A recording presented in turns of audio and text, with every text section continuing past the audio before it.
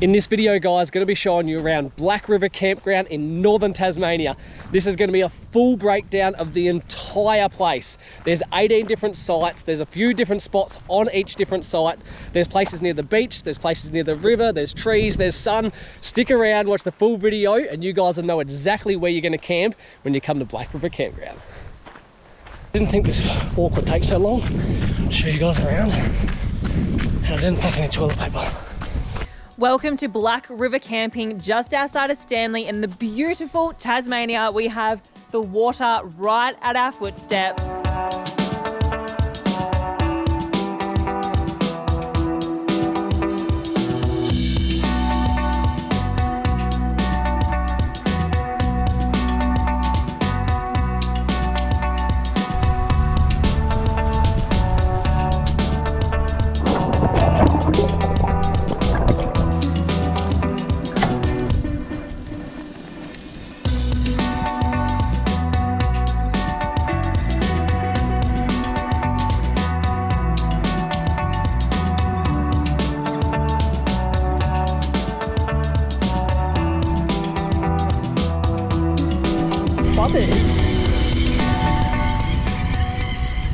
Beautiful campground has so much to offer, so stick around and let us show you around.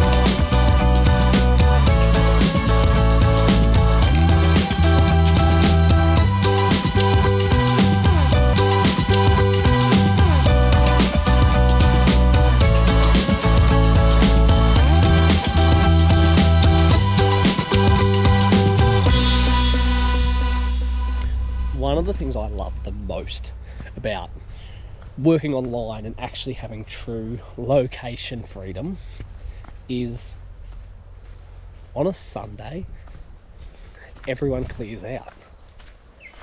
You'd be amazed how many people clear out and how so many camp spots become available on a Sunday. So it's currently Sunday afternoon we're not going anywhere but it means there's a lot of empty camp spots. So I can show you guys this amazing camp place here and some of the sites that are available.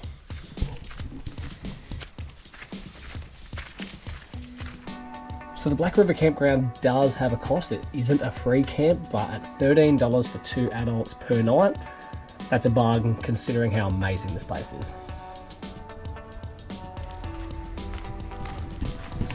Area 1, seven sites. Let's check it out.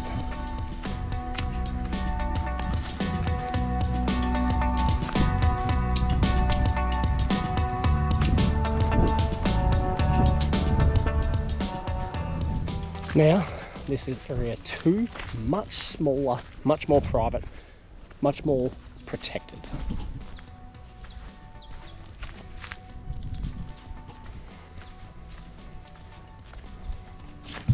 And you do have the toilet facilities right there. So you're someone that needs to go a lot it's probably pretty convenient. If not it's probably a little close for our comfort. So that was obviously 2a there is also 2b because there's two sites. Not this two. Two sites available. Plenty of shade plenty of shelter and what i do enjoy actually is every site has a camp fire pit. So you're allowed to have a fire in the designated camp fire pits. Happy days. This here is camp spot number three, and there is three spots available. Again, big beautiful trees, open spaces, level ground for a rooftop tent, camper trailer caravan plenty of room for tents if you want to be under the trees we're out in the open. And again, another designated fire pit area. Disregard that previous one actually because site two has three sites if you read the sign Shannon and this is site C. Site C has people in it, so nice big site. Can't show you around, but there's like four or five camper trailers in there and still plenty of room.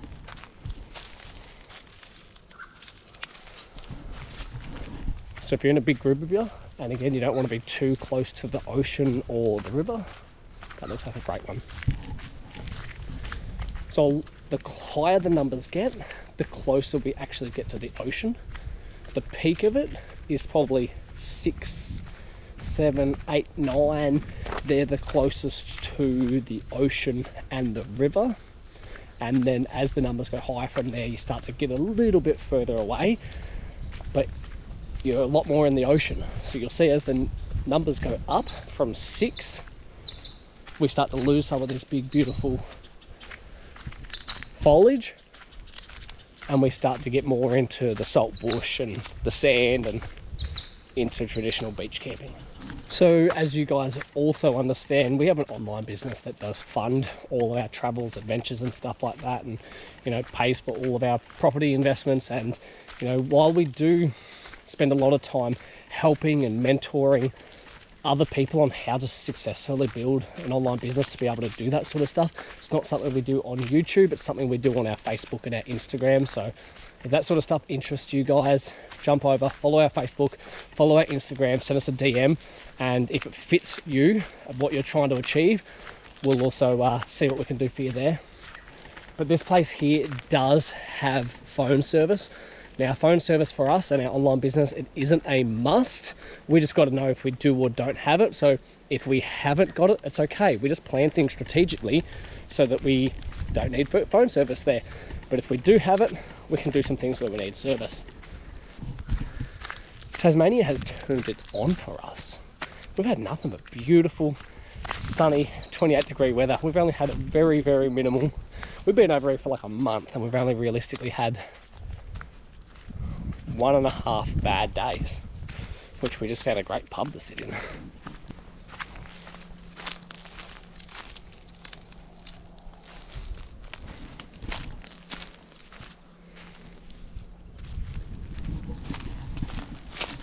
Alright, so I can't show you guys site three with the toilet in it.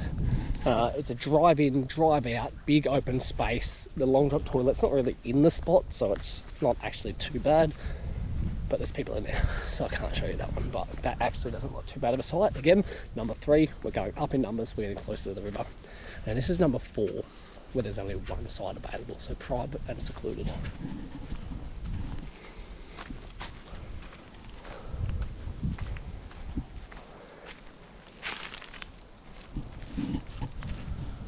Just up at the end of that road is basically just some big beautiful trees and a nice open camp spot. So a really nice one, but I must think we've got the absolute pick of them because again, it's probably a bit too far from the river or the ocean for me.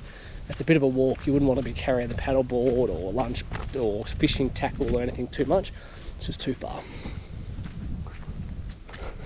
So 4B has three sites available. They're nestled up at the end of that track. This camp spot is like most of them here in Tasmania. It's a pay and display system. So you go and pay an honesty system, put it in the box, and then display on your windshield what you've put into the box so they can check it out. So this one is 4C, big open site. There is six sites available, so six separate groups of people could join you in here. So it is nice, big and open at the moment, but I imagine on a busy long weekend, technically they can fit six people in here.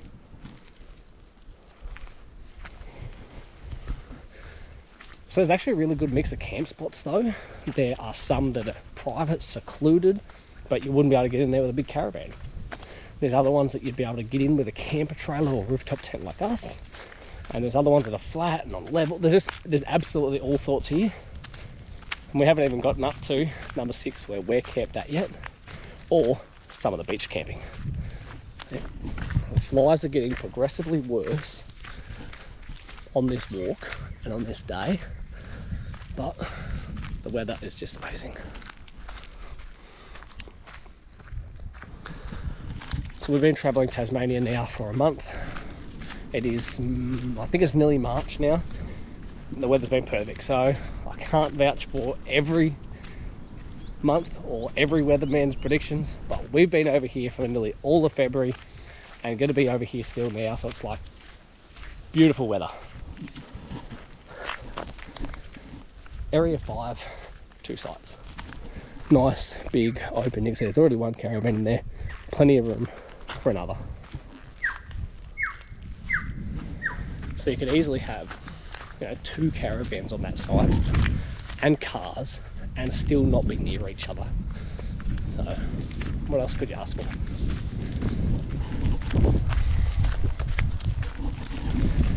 So as we walk up this road here, we are heading up to number six. In our opinion, the best spot here at the Black River Camp. What's actually been surprising is so many people like different camp spots. Like, I don't understand why people would be camped all the way back there at number one and number two, but I guess everyone enjoys something different about camping, and that's what we love about it. Is we love the water, we love the secludedness, but we understand that not everyone loves the same things that we love. So Black River has something to cover for a lot of people.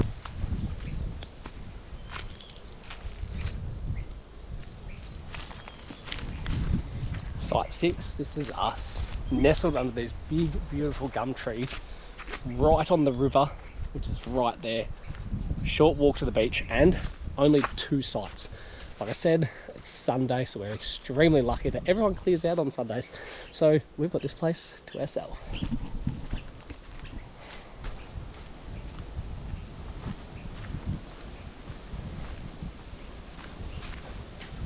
So site six also has its own little access to the beach. Have a look at this.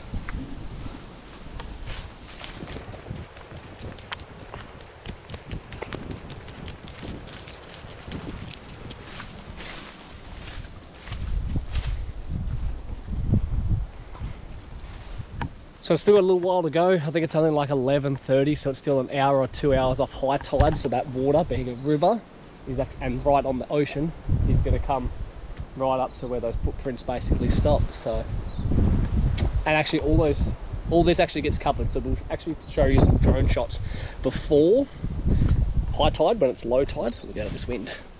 We'll show you guys a picture and a video of low tide with the drone and we'll show you high tide as well and check out the difference.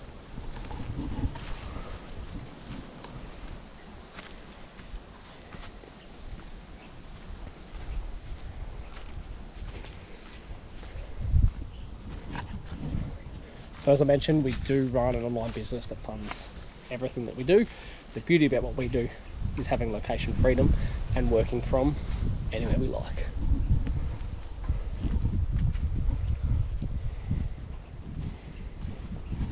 while I show you guys around Black River Campground, that's the wife's office. So that was site six, what we considered the best site. Let me keep showing you guys around.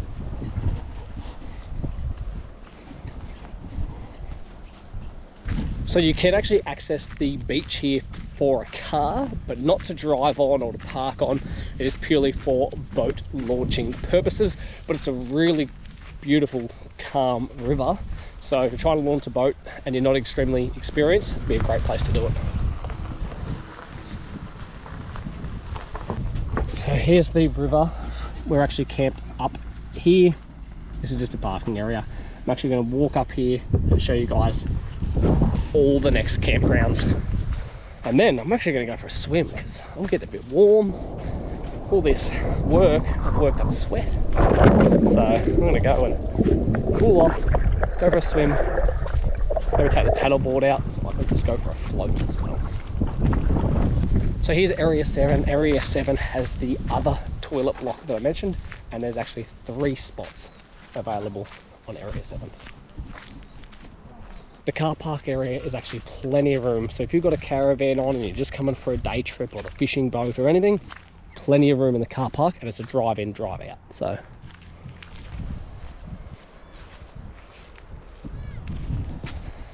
Area 9, two sites. So we've lost the gum trees now, like I mentioned, because we're going closer to the sand of the beach. Nice, big, open, flat ground. But from all these sites onwards, there's not a lot of coverage from trees. So if it is really hot, might, may, might need to have some shelter. What we've been really surprised with here in Tasmania is the sun. It is so hot. Like, we're coming from central Victoria ourselves where it's not uncommon for us to see 35, 37, 38 degrees. But you get a 30 degree day over here and you just swelter. Like the sun is so hot. So if it's your first time traveling to Tasmania and you're checking out this video, you're thinking about coming over to Tasmania and you see the weather and it says 25 degrees, pack a singlet and shorts because it's a hot 25.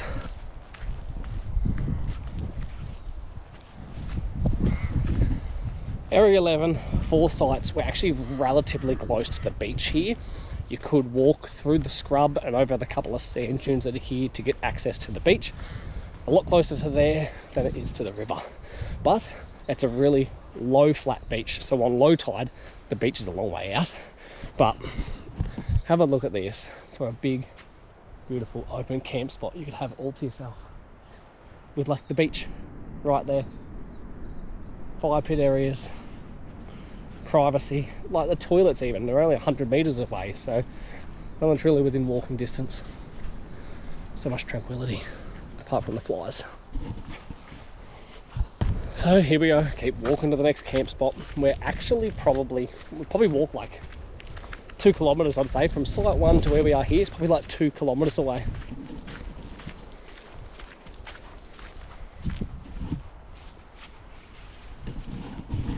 Site 12, six spots, can't show you on that one because there's a couple of different campers on there.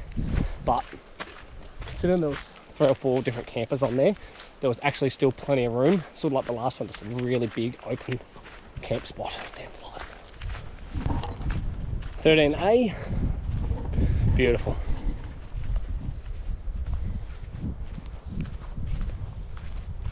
Green grass. Green grass camp Look at this beautiful grassed area. It's grass. It's $13 a night. Who could believe that? Fire pit, green grass, beach. March flies. Bastards. Now 13B. It's a bit close to the road for my liking. And then we also have 13C tucked up in here as well. As well.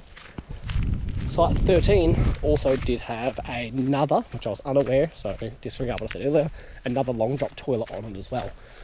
Just a single long drop, so if you're in these higher numbers, the 11s upwards, there's a toilet relatively close.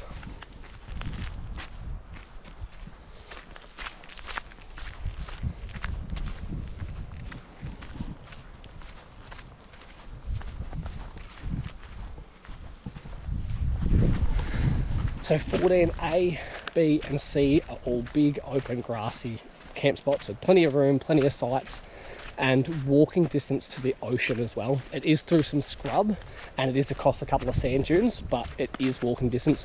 We walked it yesterday and had a look at probably like 150, 200 meters.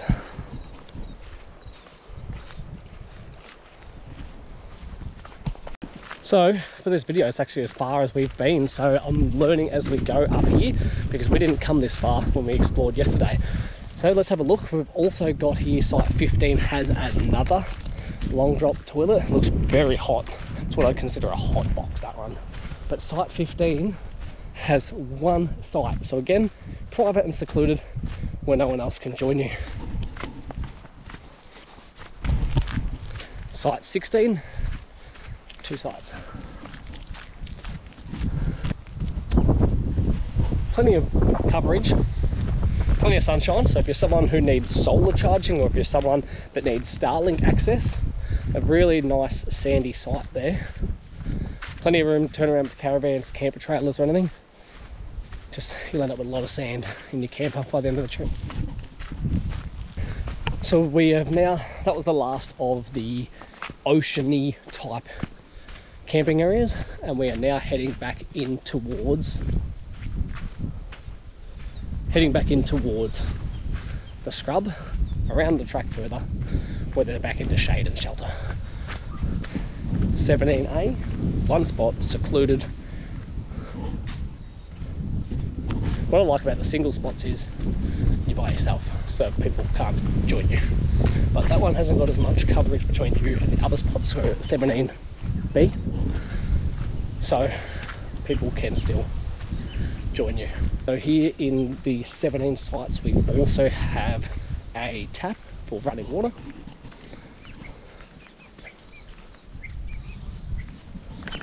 But it isn't drinking water, it is only just for washing feet or whatever you want to use water for. I didn't think this walk would take so long. I'll show you guys around. And I didn't pack any toilet paper.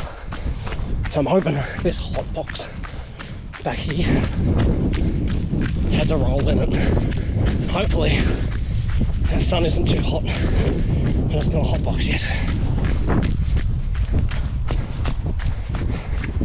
A few moments later. Alright, that is heaps better. I can now relax.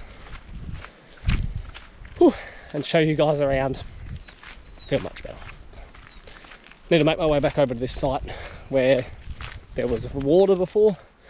Wash my hands, continue showing you guys around Black River Campground. Considering it's blistering sun and steaming hot, that hot box is quite enjoyable. It was really clean and not that hot. Hats off to the caretakers, the Tasmanian government, to the company, the people that look after this beautiful campground. It's so maintained, immaculate, clean, well represented. Right. Area 18. Number one. I should say A, not number one. A. One site, private ish. It's relatively close to the road, so private's probably not the right word. But there is only one site. Now, guys, none of these campsites are on a book basis where you can call up or email in or anything and book. It is first come, first serve. If you want a good spot, you get here first. Also, 18, 18B, and there's two spots available on that site. Now we're going coming up to 18C. I can see campers in here, so might not be able to go too far in.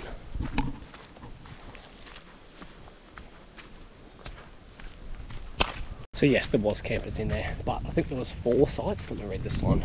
Well, four. Yeah, there was four sites available in there, and very big, spacious sites right at the end of the road because there's only 18 sites. So you're away from a lot of people there because there's a lot of spots, turn offs, places where other people are going to get sites before they end up at the end of the road. So you're going to not see many people, not see much traffic. The beach, I would not say is walking distance. Not comfortable, not an easy walk. It's a it's a fair way. To be walking distance from the beach, I would say you would realistically want to be at sites five to 15, 5 to 16, somewhere around there within walking distance. You know, 6, 7, 8, 9, 10, 11 being the closest to the water. 6 actually being the closest to the river. And then probably 7, 8 being the closest to the beach. Now, on my walks, showing you guys this place, I seen there was what looked like a shortcut. And it headed back in the direction towards camp. Now, I'm walking around showing you guys, I actually haven't been this way myself. So I'm going to assume this is a shortcut. And I'm going to find out for you now. If it's not a shortcut and I end up lost and eaten by a Tasmanian tiger, hopefully this footage can be salvaged and you can all still enjoy an educational video of the Black Black River Campground. So in site 17 we have that I showed you before where the drinking water was. This is where I seen the shortcut. We'll go and figure out if it goes back. I'm assuming it's going to go back towards our camp because I reckon it's near our camp there's this sign that has a bushwalker on it. We've been doing a lot of walking, a lot of hiking. Hey, there you go. There's another long drop at site 17. Something you learn along the way.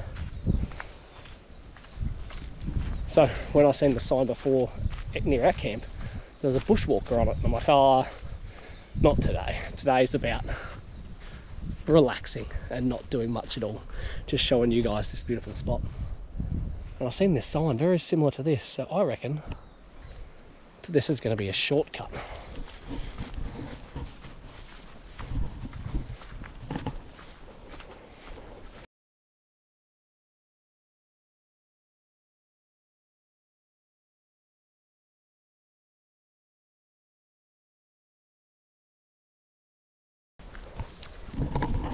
Oh, look at that. This is the sign that I seen earlier. Right at Camp 6. Oh, that was a great shortcut. So I need to actually update you guys now because I have learned something myself. So there was two toilet blocks. And there actually was then one, two, three, four separate long drops and one tap. So I like that little update there. Pretty sure earlier I didn't say that many. But we're back at site six. So I'm gonna go back, I'm gonna go for a swim, I'm gonna cool off. I'm gonna put my feet up, I'm gonna have a ginger beer, I'm gonna sit in the hammock, I'm gonna do some reading. Then I feel like it, I might turn the computer on and do some work. But for the meantime, hope you guys enjoyed Black River Campground. If you guys enjoy seeing in-depth videos of campgrounds that we got, we're exploring and showing you guys, like the video, subscribe to the channel, put a comment in here that you like it and we'll know that you want to see more of it and we'll make sure the campgrounds we go to we do such in-depth videos so that you can see exactly what's here before you come. Catch you on the next one.